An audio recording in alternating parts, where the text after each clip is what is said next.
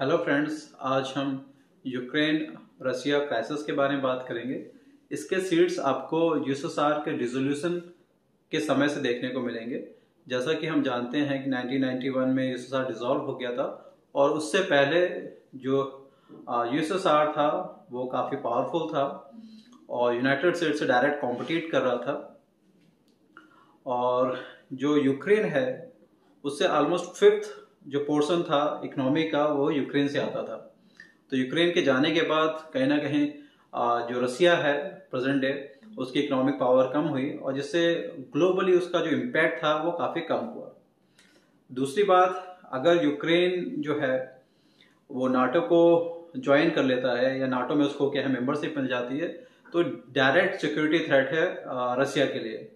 क्योंकि जो नाटो का जो स्लोगन है one for all and all for one कि अगर किसी एक कंट्री पे अगर कोई अटैक करता है तो सारी जो अलाइड फोर्सेस हैं, वो उसके अगेंस्ट अटैक करेंगे या उसको प्रोटेक्ट करेंगे।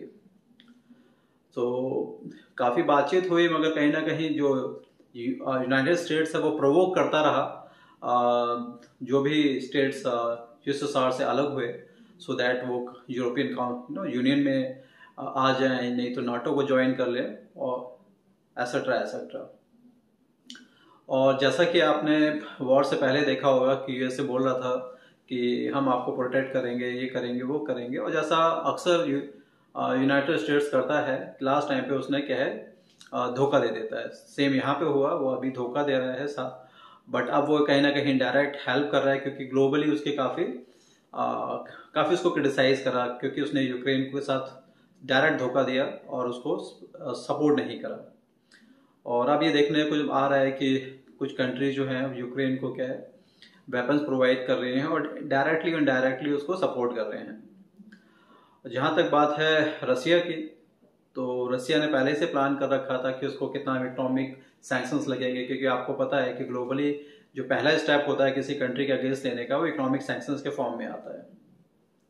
यूक्रेन पहले ही approach International Court of Justice में कर चुका था, उस पर केस पेंडिंग था, उसकी हियरिंग होनी थी और रसिया ने उससे टाइमिंग मांगी थी अपनी रिपोर्ट सबमिट के लिए बट वो जब जब तक वो रिपोर्ट सबमिट करा उससे पहले ही उसने उसके अगेंस्ट जो जैसा रसिया बोलता है, एक मिलिट्री एक्शन करा है, उसको वॉर नहीं करता है इससे मिलिट्री एक्सरसाइज कह रहा है। और जैसा कि यूएन चार्टर को अगर हम देखें और आईसीजे के रूल्स देखें तो उसके हिसाब से कोई भी मेंबर कंट्री आईसीजे में जा सकता है और आईसीजे क्या है आ, का जो कंपलसरी जुडिक्शन सभी मेंबर कंट्रीज़ से पड़ता है।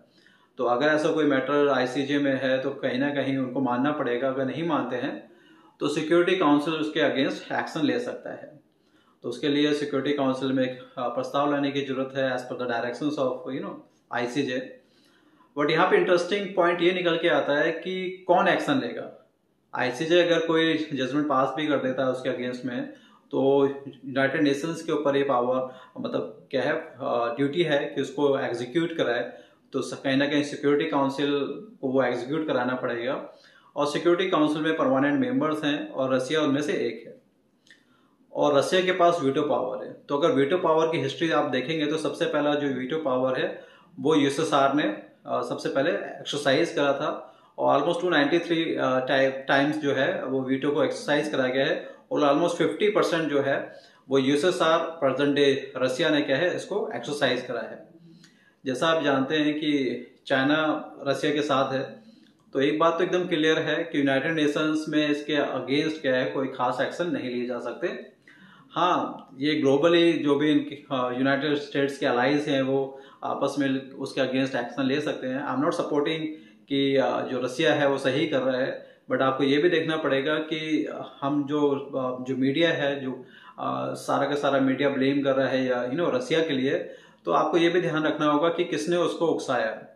तो बार बार अमेरिका उकसाता है और फिर पीछे हट जाता है। तो अगर आप देखेंगे तो अदर साइड में आपको यूएसए दिखेगा इन सारी साजिशों के पीछे। क्या ज़रूरत है आपको प्रवोक करने की? नाटो ज्वाइन करो। अभी ऐसी कौन सी आफत थी कि नाटो को ज्वाइन करने की ज़रूरत थी?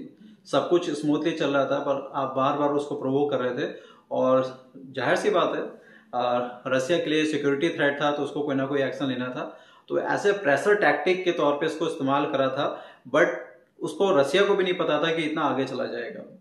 तो इसकी वजह से जो बाकी कंट्रीज़ हैं, जिसको हम थर्ड वर्ल्ड कंट्रीज़ और डेवलपिंग कंट्रीज़ कहते हैं, उनको ज़्यादा प्रॉब्लम आएगी जैसे क्रूड ऑयल महँगा हो गया अब ऑयल महँगा हो गया तो उसका सबसे ज़्यादा खामियाजा क्या है? वो गरीब देशों पे पड़ता है। क्योंकि जो डेवलप कंट्रीज़ हैं इनके पास हमेशा रिज़र्व होता है। जब भी ग्लोबली कोई क्राइसिस आता है जिसकी वजह से क्या है? आ, जो ऑयल प्राइसेस कम होती हैं तो अपना ये रिज़र्व काफ़ी कर लेती हैं। तो अगर कहीं किसी टाइम ऑयल के क्या है? प्राइसेस अगर बढ़ते भी हैं तो इनको कोई ज़्यादा नुकसान नहीं होने वाला है। तो लास्टली और अल्टीमेटली क्या है? Least developing countries and developing country he suffer करते हैं। यहाँ पे एक और इंटरेस्टिंग चीज़ निकल के आ रही है कि ये जो भी इवेंट है, इसके बाद एक चीज़ तो एकदम क्लियर है कि न्यू वर्ल्ड ऑर्डर आने वाला है। जैसा कि हम जानते हैं, जब लीग ऑफ़ नेशंस फेल हो गया तो उसके बाद यूनाइटेड नेशंस आया। और आज के टाइम में ये कोई रॉकेट साइंस नहीं है, इस चीज़ को पता लगाने में कि जो यूनाइटेड नेशंस है, वो पपेट बन गया है डेवलप कंट्रीज़ का। तो जैसा भी डेवलप कंट्रीज़ बोलती हैं, वो वैसा ही करता है। फॉर एग्ज़ाम्पल वर्ल्ड बैंक तो वर्ल्ड बैंक से लोन लेना लेना इतना आसान नहीं है। बट डेवलप कंट्री अगर कहते हैं कि इस कंट्री को देना है तो उसको आसानी से मिल जाएगा। और दूसरा कंट्री जिसको वास्तव में ज़रूरत है, वो वहाँ पे उसको नहीं मिलेगा। यहाँ पे एक और चीज़ आपको बता दूँ कि यूक्रेन के इशू में इतना ज़्यादा मतलब वर्ल्ड लेवल पे बातें चल रही हैं। यू नो ये जो वेस्टर्न मीडिया है, बातें कर रहा है। बट हमारे म्यांमार में जो पास में ही है, जहाँ पे डेमोक्रेसी लगभग पैंतीस चालीस साल हो गए हैं डेमोक्रेसी एकदम यू नो खत्म हो रखी है। आंग सांग सोचिए, जिसको नोबेल प्राइज मिला। आप उसको क्या है, उसको जेल में डाल दिया और कोई सुनने वाला नहीं है, ठीक है? टोटल डिक्टेटरशिप वहाँ पे चल रही है। मगर यूनाइटेड नेशंस को उसकी चिंता नहीं है। कई जगहों पे ऐसी प्रॉब्लम है, कई you know South Asian countries हैं अफ्रीकन कंट्री है, जहाँ पे डिक्टेटर सिप चल रही है। टोटल अनरेस्ट है। डेमोक्रेटिक वे में क्या है गवर्नमेंट काम नहीं कर रही है। मगर उसके बारे में ग्लोबली बात नहीं होती है। मगर यूक्रेन का है तो इसलिए सब लोग बात कर रहे हैं। कहीं कहीं ना कहीं स्ट्रेटजिकली यूनाइटेड स्टेट्स ये फेल हो रहा है, साथ में यू नो अमेरिका फेल हो रहा है तो इसके बारे में ज़्यादा प्रोपोगंडा करा जा रहा है। तो मेरे हिसाब से it's a big failure for first time it's a big failure for America वो कहीं ना कहीं स्ट्रेटजिकली फेल हो गया, उसको अंदाज़ा भी नहीं था कि जो रसिया है, वो इस लेवल तक जा सकता है। और अभी अगर चीज़ें को नहीं संभाला गया तो देर इज़ अ प्रोबेबिलिटी कि नो एटॉमिक पावर का भी इस्तेमाल किया जा सकता है बट एक चीज़ एकदम क्लियर है कि ये जो भी uh, जो जो इशू है जब ये सॉल्व होगा तो उसके बाद क्या है एक न्यू ऑर्डर ऑर्डर आएगा और ये देखना होगा इंटरेस्टिंगली कि न्यू वर्ल्ड ऑर्डर में कौन लीड करता है।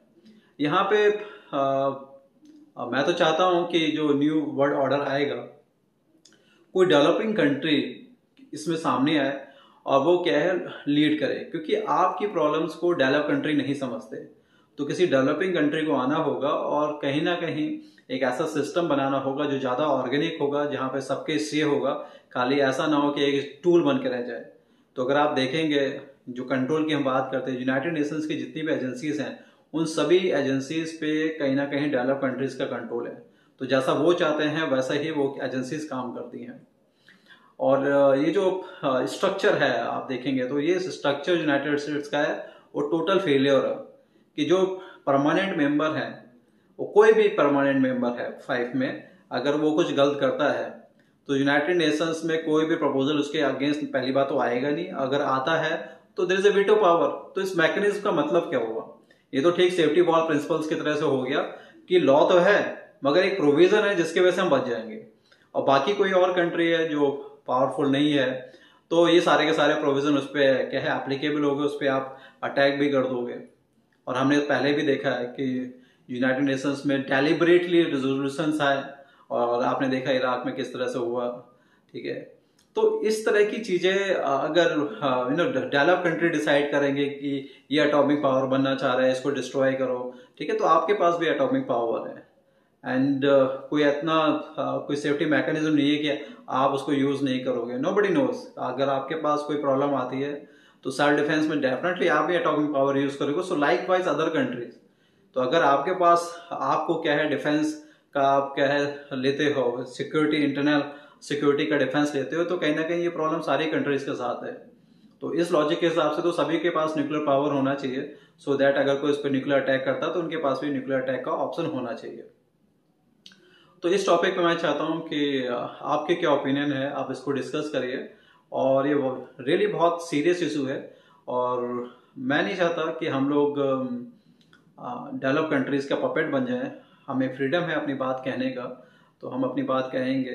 कुछ लोग हो सकता है उसे एग्री ना करें, क्योंकि वेस्टर्न मीडिया ने इतना ज़्यादा उनको यू नो सोशल इंजीनियरिंग के थ्रू न्यूरो लिंग्विस्टिक प्रोग्रामिंग के थ्रू उनका ब्रेन वॉश कर रखा है। तो उनको अदर साइड देखने को ही नहीं मिलती।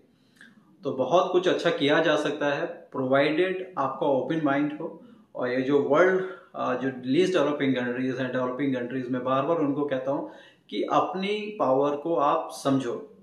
देखिए यूरोपियन मार्केट में सैचुरेशन है अमेरिका में सैचुरेशन है तो वो उनको अपना प्रोडक्ट बेचने के लिए कहीं ना कहीं अफ्रीका की ज़रूरत है साउथ एशियन कंट्रीज़ की ज़रूरत है।